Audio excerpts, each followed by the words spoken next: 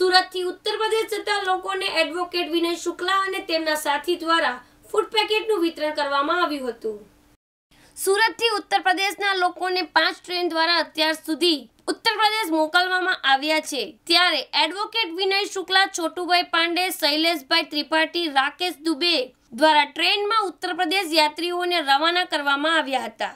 જે લોકોને Udhna bus depot પરથી બસ મારફતે સુરત રેલવે સ્ટેશનમાં મોકલવામાં આવ્યા હતા. દરેક પ્રવાસીને એક પાણીની બોટલ, ફૂડ પેકેટ અને દરેક પ્રવાસીને ફ્રૂટ પણ આપવામાં આવ્યું હતું. હું વિનય શુક્લા.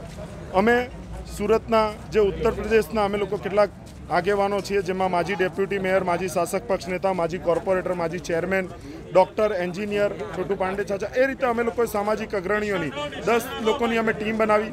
એ દસ માણસોની જે ટીમ છે, તે દસ માણસોની ટીમે મળીને નક્કી કર્યું કે આપણે જે આપણા ઉત્તર પ્રદેશના જે શ્રમિકો છે, તે લોકોને જે આ સુરતના અંદર એ લોકોને બેરોજગારી અને ભૂખમરોનો સામનો કરવો પડે છે, તે લોકોને ત્યાં પોતાના વતન પહોંચી જાય, તે માટે એ લોકોની અમે લોકોએ ડેટા રજિસ્ટ્રેશન કરવાનું ચાલુ કર્યું અને એ લોકોની એક્સેલ સીટ બનાવીને કલેક્ટર સાહેબને મોકલીએ છીએ તે યુપી ગવર્મેન્ટને.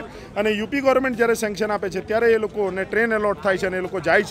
અમારામાં અમે સર એક સિસ્ટમ રાખી છે કે કોઈ પણ કાળા બજારી ન થાય ને કોઈની પણ જોડે ખોટા પૈસા ન લેવાય. તે માટે જે લોકોના ફોર્મ અમારા ત્યાં જમા થાય છે, તે લોકોના મોબાઈલ ઉપર અમારા ઓફિસ તરફથી, અમારા ગ્રુપ તરફથી મેસેજ જાય છે કે ભાઈ તમને કોંગ્રેચ્યુલેશન તમારી ટ્રેન તમને ટિકિટ એલોટ થઈ ગઈ છે ને તમારી આટલા વાગે બસ તમારી આ જગ્યાથી ઉપડશે ને આટલા વાગે સુરત સ્ટેશનથી તમારી ટ્રેન ઉપડશે. જેથી કરીને એ વ્યક્તિને શ્યોર થઈ જાય કે મારી ટ્રેન કન્ફર્મ ટિકિટ કન્ફર્મ થઈ ગઈ છે. એની ટિકિટ કોઈ બીજાને કોઈ ના આપી દે. એટલે એ રીતે પ્રોપર વેમાં કામ કરીએ છીએ. એ લોકો જ્યારે અહીં આવે છે ત્યારે એ લોકોને એક પાણીની બિસ્લરી બોટલની બોટલ, એ લોકોને ત્રણ ત્રણ કેળા, કોઈક વાર ફૂડ પેકેટ જે રીતેની અમારી વ્યવસ્થા થાય, અમે એ લોકોને પ્રોવાઈડ કરાવીએ છીએ અને એ લોકોને અમે પૂરેપૂરું એમ આપીએ છીએ કે તમે લોકો સુરતથી જ્યારે ત્યાં જાઓ છો યુપી અને યુપીથી પાછું તમારે જ્યારે બધું ચાલુ થઈ જાય, ફરીથી તમારે સુરત આવવાનું છે અને સુરતની ધરતીને ફરીથી મહકાવવાનું છે.